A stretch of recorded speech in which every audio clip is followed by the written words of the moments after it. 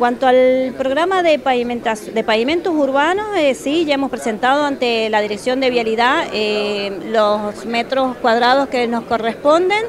Eh, se ha determinado en tres distritos, San Isidro, Dos Acequia y La Puntilla. Desde allí se ha seleccionado la X cantidad de metros para cada lugar en función de, que, de las necesidades que, que teníamos en el departamento. También cabe destacar que si bien vamos a cubrir una parte, pero no vamos a completar con lo que nos otorgan. ¿Cuántos metros le corresponden a San Martín? Y a San Martín le corresponden eh, 18.649. 18.649 metros cuadrados. Perfecto. A respecto de las obras viales y a respecto de las viviendas, ¿qué noticias tenemos?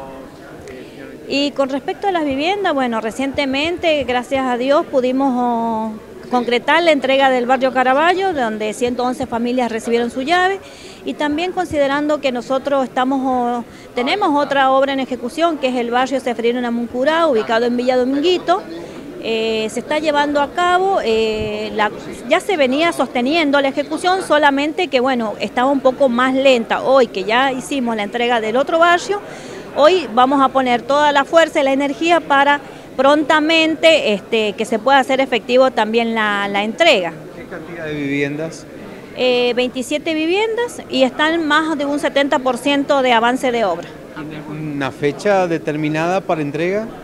No, no, fecha aún no, porque esa obra mm, tiene un, complemento especial, que lo que es infraestructura, eh, obras complementarias, esas están, eh, las va a realizar el IPB por una, eh, por una presentación que hay previamente, así que bueno, estamos siguiendo el expediente.